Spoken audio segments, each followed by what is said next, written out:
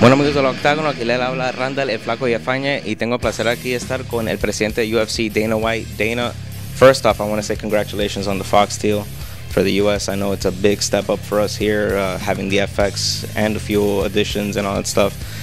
Um, how excited were you when you first uh, got the word that it's going to happen? Well, we've been negotiating for nine months with all of the networks, and the Fox thing really sped up the last I don't know, three weeks.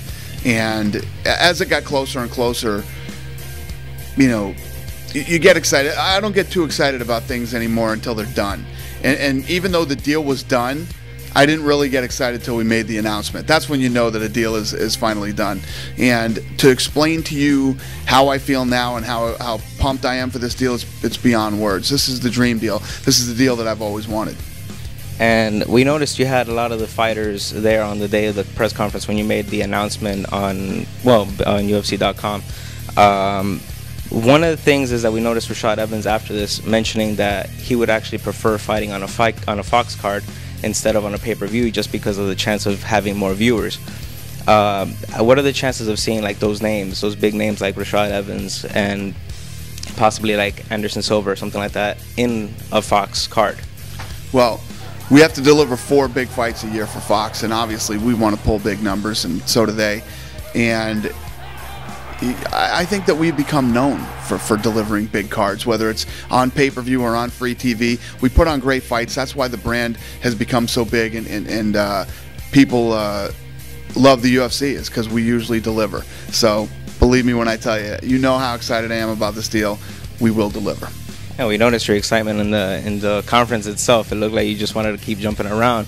But uh, aside from the the fact that you know you have all these big names interested in fighting on there, there's already started a lot of rumors, and I know you've seen a lot of them. Uh, chances of seeing uh, Brock Lesnar on the on one of the Fox cards, and then the the negotiations that are I'm guessing ongoing with Alistair at the moment. The recent rumor going around, I don't know if you've heard it, is uh, they're saying, oh, if Anderson wins uh, maybe a chance of seeing uh, Anderson and Dan Henderson going back up to middleweight or things like that, like weird rumors. What do you think of those rumors going on with Anderson Silva, Dan Henderson, and even possibly removing Chael Sonnen from his fight with Brian Stann to moving him to a Fox card with Anderson Silva for a rematch? Well, I think that that some of the rumors make sense and some of them don't, and I think that uh, you know we're we're talking about lots of different options and the one that, that, that looks like it's going to happen hasn't been rumored or mentioned. So we've done a good job of keeping it uh, secret. Well, that works out good. And but speaking of of Alistair, like what, what's the status right now? Right now, because we know he has an, a fight coming up in, in the Golden Glory situation and all that. But what's the situation with Alistair right now? Yeah, he. You know, everybody knows what happened in the beginning where you know, we said basically we can't do business the way that these guys do business. Well, they came back and said, all right, we'll, we'll do it the way that you want to do it. So we're in talks again. We're talking, and, and hopefully we can come to an agreement and come to terms with Alistair. I'd love to have him in the UFC one thing we've noticed recently is the Facebook fights. Um, is that going to continue now with the ongoing Fox deal, or is that going to go away with the prelims and all that stuff? Yeah, it will go away when, when the Fox deal starts, which is in January, because all that programming now. I mean, the, the reason we did the Fox fight, uh, uh the uh, Facebook fights, was because nobody could see those fights. So we put them up on Facebook as an option for fans, because we always love to give more fights. Uh, but the fact that Fox wants to pick up all these fights, they'll be on television now. Yeah, that's very exciting. At least uh, for UFC, I know you guys must be very excited with that. And I guess last question would be: uh, last time we had Cain Velasquez down here in Miami, he drank uh, Cuban espresso. I don't know if you had a chance. He completely didn't like it, but if you've had a chance to try a Cuban espresso yet down here in Miami, I never have. I don't drink coffee. I don't drink coffee or any stuff like that.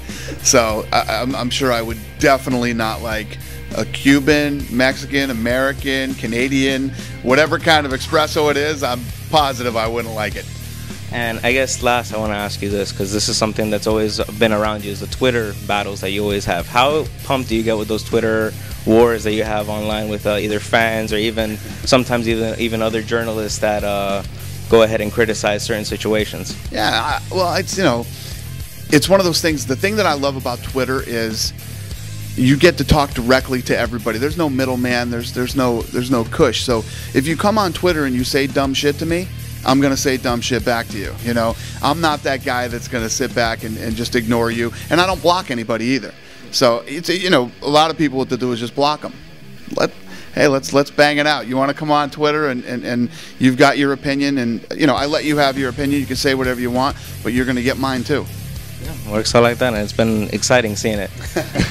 but thanks for being with us here on El Octágono. Uh, otra vez Randall Flaco Villafane con el presidente de UFC, Dana White.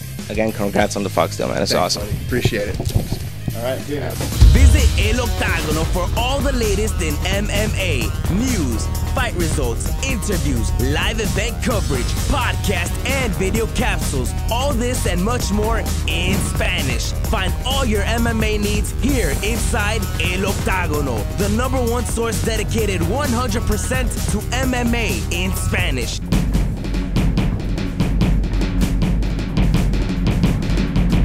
eloctagono.com